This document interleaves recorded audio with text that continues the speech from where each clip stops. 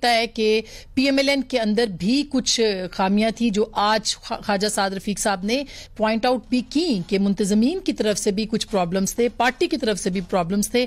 Party ने actively उसके अंदर अपना किरदार अदा नहीं किया। ये कहाँ तक दुरुस्त है? जी आसमा मैं आपके सामने पहले तो पूरी कौम को मुबारकबाद देना चाहता हूँ कि आज एलएनजी के कॉन्ट्रैक्ट खुल गए हैं। और आपको याद होगा कि जब 11 फ़ीसद की स्लोप के ऊपर कतर के साथ मुआदे किए गए थे हम्म। तो न जाने किस किस चीज़ का इल्ज़ाम लगाया गया था शायद खाकान अब्बासी के पास के ऊपर आज 35 फ़ीसद मैं हम्म। आपको जरा दोबारा बता दूँ हम्म। वो 11 फ़ीसद जिसके बाद नैप की तहकीकात शुरू की गई थी और कहा गया था कि ये तमाम जो एलएनजी है ये लूटने की एक साजिश थी हम्म। आज जो अल्हम्दुलिल्लाह कॉन्ट्रैक्ट सुबह खुले हैं वो पैंतीस फ़ीसद की स्लोप के ऊपर खुले हैं हम्म। ग्यारह फ़ीसद पैंतीस फ़ीसद हम्म। टीका तकरीब चालीस रुपए का है चालीस अरब रुपए का टीका सिर्फ़ आज जो एलएनजी के कॉन्ट्रैक्ट खुले हैं उसमें लोगों को लगा है सिर्फ़ इस वजह से कि बर वक्त ये दस फ़ीसद की स्लोप भी मिल सकती थी अगर जून जुलाई के अंदर अगस्त के अंदर ये तमाम जब एल एलएनजी प्राइसेस बहुत कम उसके ऊपर थे। बिल्कुल मुसदिक साहब वो तो आ, ये तो- जान तो, के जी जी जान के नहीं लेकिन मैं मुबारकबाद तो कि मुस्तक तो हुकूमत है ना मुझे मुबारकबाद तो दे लीजिए और जान के नहीं दिए गए डीजल के ऊपर और फर्नेस ऑयल के ऊपर पावर प्लांट चलाए गए और आज भी जो टेंडर आए हैं उनसे ज़रूरत नहीं पूरी होगी तो अब अलहमदुल्ला ये पैंतीस फ़ीसद की स्लोप पे एलएनजी खरीदने के बाद भी डीजल से चलेंगे ये जो पावर प्लांट है हम्म। तो ये जो आज लोगों को टीका लगा है कि बिजली की कीमत बढ़ गई है फ्यूल एडजस्टमेंट टैरिफ में जरा आप दो महीने ठहरे जब इस महीने का जब अगले महीनों के आएँगे बिल आपको तो समझ आ जाएगी आपको कि हुकूमत की कारकर्दगी क्या है हम्म। अब मैं आता हूँ आपके सवाल हम्म। उस सवाल पे जाने से पहले आपके सामने एक चीज़ रखना चाहूँगा नंबर एक कि जो वहाँ पे जलसा गा थी वो तो भरी हुई थी। इसके बावजूद के सेंट्रल आपके तूर साहब ने बताया इंस्ट्रक्शन हम्म। आ रही थी कि कोई ऐसा पैच ढूंढो जहाँ पे लोग ना हो। हम्म। इसके बावजूद वो पैच नहीं मिल सका। यानी जब जलसागार शुरू हुई थी दोपहर में वो न कुछ दिखाए कुछ मिला, मिला था मिला था। ऐसा नहीं है ऐसा नहीं है सर। मिला था। जलसा आप माने आपके बहुत बुरा नहीं था तो बहुत अच्छा भी नहीं था। ये बात तो आप आपको माननी चाहिए।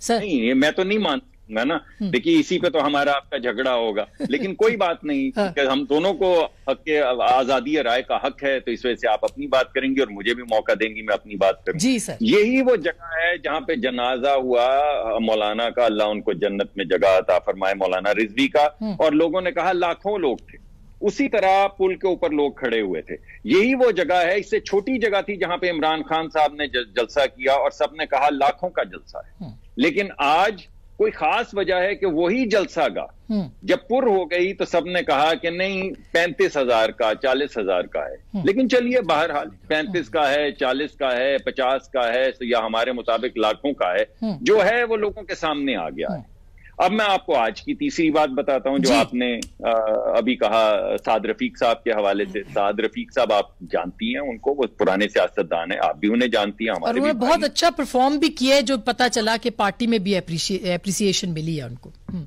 जी साद रफीक साहब ने दो मुख्तलिफ़ बातें की हम्म। और उनको मिक्स किया जा रहा है हम्म। साद रफीक साहब ने पहले तो मुबारकबादें दी फिर साद रफीक ने कहा कि तंजीमी अमूर में हमें अब एक ढांचा बनाना चाहिए जिसमें जो लोग कारकर्दगी ना दिखाएँ और जो लोग कारकर्दगी दिखाएँ उनमें तफरीक की जाए। हम्म। ताकि हमारा जो सख्त मुकाबला आने वाले वक्तों में हुकूमत के साथ होने वाला है उसमें हमारी कार तो इसका मतलब ये कि पीएमएलएन सेटिस्फाइड है लाहौर के जलसे से उनको कोई पशेमानी नहीं है कोई खामी उनको नज़र नहीं आई।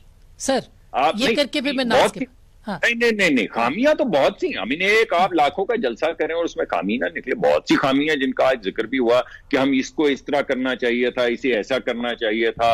ये इसमें कोई शक नहीं है। हम्म। हमें और खातन को लेकर आना है। जलसा गाह में कल एक बहुत बड़ी तादाद में पहली मरतबा खातन आई। उनके लिए अलहदा पंडाल लाहौर लाहौर नहीं निकला आपके ख्याल में सर? लाहौर नहीं निकला आपके ख्याल में।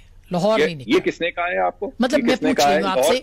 एक ऑब्जर्वेशन तो ये भी है कि लाहौर खुद नहीं निकला बाकी जगहों से लोग आए। नहीं वो ऑब्जर्वेशन एक खास जाविये से आ रही है। ठीक। और उसकी एक खास वजह है एक खास किस्म का इख्तलाफ पैदा करने के लिए और ये सामने लाने के लिए कि असल बात यह है कि इख्तलाफ है। अच्छा। यानी हमारा काम हो तो इख्तलाफ हमारा जलसा कामयाब हो तो अच्छा चले मैं नाज, नाज बलोच से पूछ लेती हूँ। नाज आपको क्या लगता है कल के